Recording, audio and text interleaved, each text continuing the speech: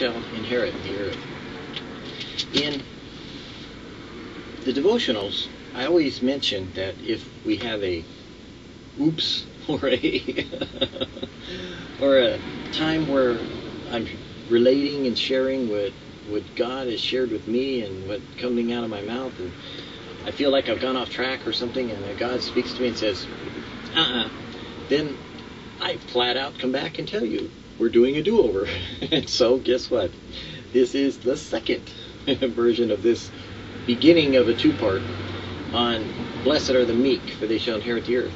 And the reason is because this portion that we're looking at right now on the Sermon on the Mount or on the, the meaning of meek is we need to define what meek is so that you understand it in a way that relates to you.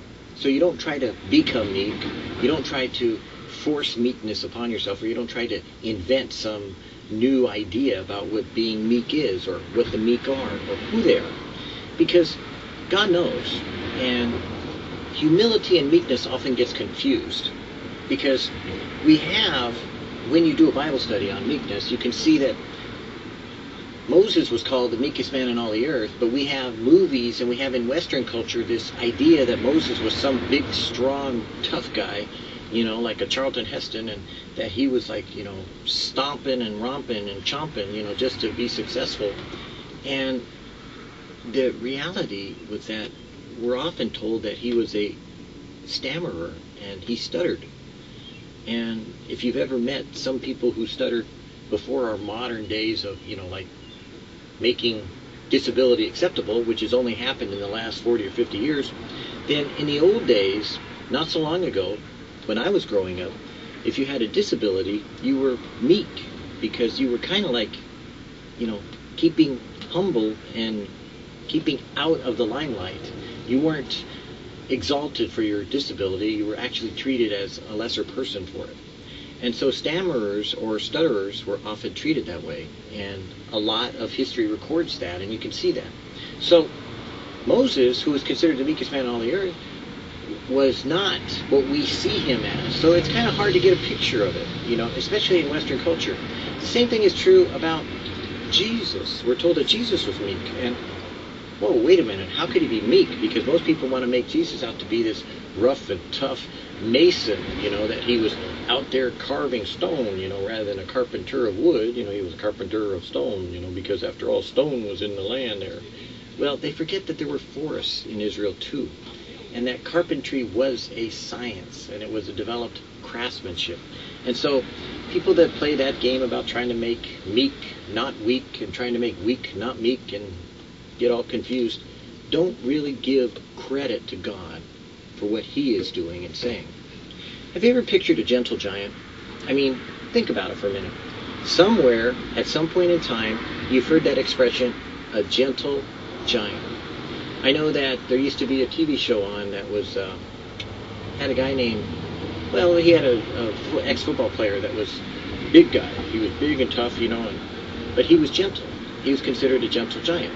Now, he had strength.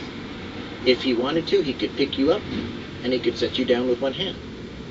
That is the portrayal of what a gentle giant is. Often, people that have a poor self esteem inside have meekness on the outside because they are really like marshmallows on the inside because they're they're kind of like timid but not weak. They're timid for other reasons because they're more emotionally drained than their physical capability, which may be containing something of great ability.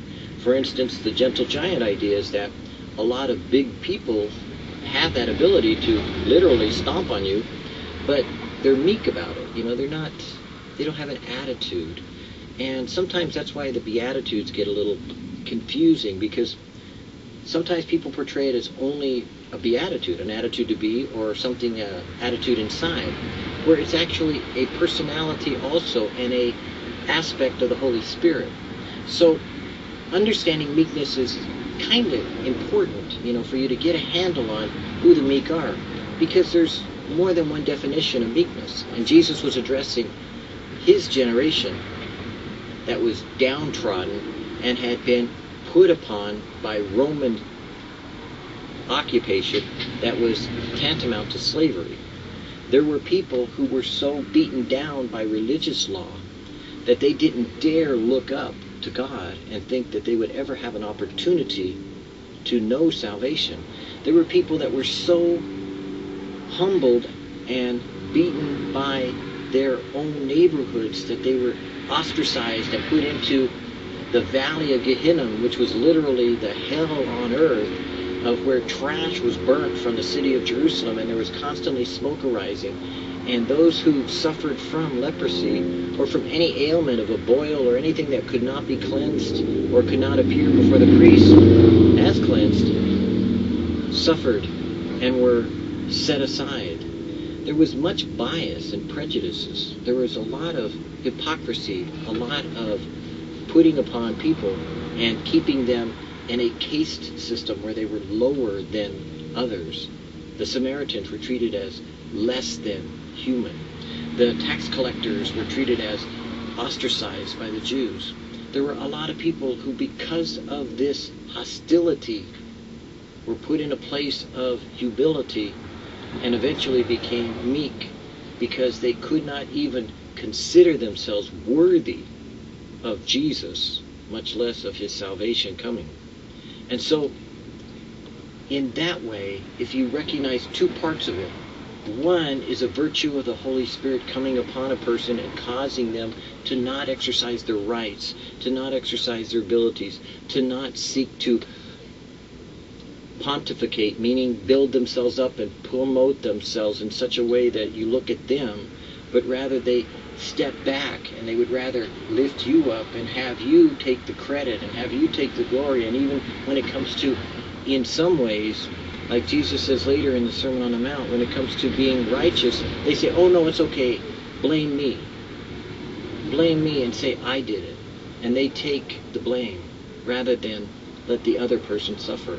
They are willing to suffer for and give up their own rights in order that someone else might be exalted. Humility is not that way. Meekness offers it, the sacrifice of itself for the benefit of another. That's meekness as we see it in Jewish culture. That's as we see it in the Middle East. It treats the other as better than themselves and means it.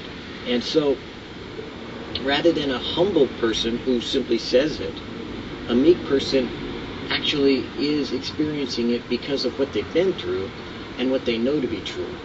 And so it's important to get that down because what Jesus is trying to identify with is those who are downtrodden and beat up, those who don't think of themselves as being worthy, those of themselves who are hurting, who are broken, who are contrite, who literally are even sometimes the emotional gentle giants.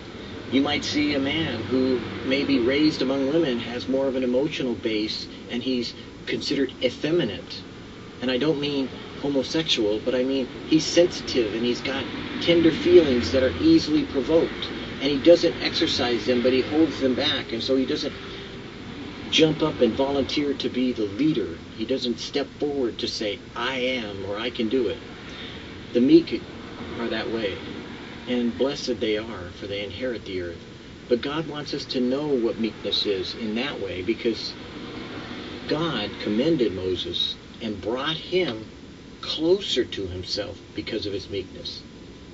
And likewise, Jesus was considered meek. For I am meek and lowly. Consider that well when we look at ourselves because I am not meek. I say that and then the Lord says, slap me. Um, I have been meek in other times and places, and should it be that the exercise of that that fruit of the spirit in my life were needed, then yes. Though it's a shock to some people when they see it, I can be meek. because I was a wallflower, so I, prior to salvation, knew what the ugly felt like, you know, because I was ugly. I had a big nose, I had a big mouth, I was ugly, you know, I was a ugly duckling. But when the Holy Spirit came upon me, I felt so washed anew in love that I just wanted nothing more than for everyone else to enjoy what it is they had. and I considered them greater than I ever was or ever would be. And to this day, in many ways, I still do, and in some ways, some people say, there's no way. so I say, I am not meek, though the Lord says, you have been. So understand that meekness isn't weakness. Remember that. Two, meekness is like a gentle giant who has the strength and the ability. Could stomp on you if he wanted to, but he cares. He's got feelings. That's what meekness is. You have tenderness. Meekness involves tenderness, compassion, humility, gentleness, a self deprecation, but not of a humiliating way, but one of recognizing that it's okay to be lesser, that God may be greater. So there's more to meekness than meets the eye. And today, as we examine the meaning of it, it's hard for men to become humble because they learn to humble themselves, but they don't do it in such a way that they recognize what the benefit is. But if you have a man who has emotions, then he begins to incorporate the humility into becoming meek, that God may produce in him something contrary to what the Western civilization is all about, which is the violent. You know, we have this whole idea that, you know, if it's out there, I got to get it. We get the brass ring. We have to compete. We have to win. We have to succeed. Where meekness is the opposite. It doesn't ask to succeed. It doesn't need to. It's meek. It will inherit the earth. And that means everything in it. So the contrary to what the Western idealism is of getting the American dream is wrong when it comes to the kingdom of God because meekness is the opposite of assertion, but it's the subsertion of us into the will of God and allowing Him to give us what He would have for us to be, which is meek. Then we are easily malleable. We're easily entreated. We could easily be touched and we could easily feel the other emotions of other people and then we would care if we are meek. So, in this definition, I pray that you would take the time to walk away with Jesus for a few moments, to get some understanding of meekness that maybe you didn't grasp just now and you couldn't understand what was being said. Because tomorrow we'll talk about, or we'll share the evotional of Blessed are the meek, for they shall inherit the earth. But understand what meekness really is. Then it begins to make more sense of who he's talking to what he's talking about, and how it applies to us today. Because meekness is exactly opposite of everything we're taught in Western culture. The only thing I can tell you about meekness is if you want to picture a Catholic monk in some ways, then that is an example. Same thing with being a idea of a gentle giant. That too. Or a person with a handicap that stammers or is humbled, or the girl who is too shy, because meekness doesn't invi- involve shyness, but it involves the same aspect of the quality that shyness causes, which is sometimes a poor self-esteem. But meekness has an esteem, but it esteems itself lesser so that others may be greater. Consider meekness today as you talk to Jesus. He can show you the way and what meekness truly is, because he wants you to be meek. And you may never get there in this life, but trust me, when it happens, it's all because of His doing and not your ability to do.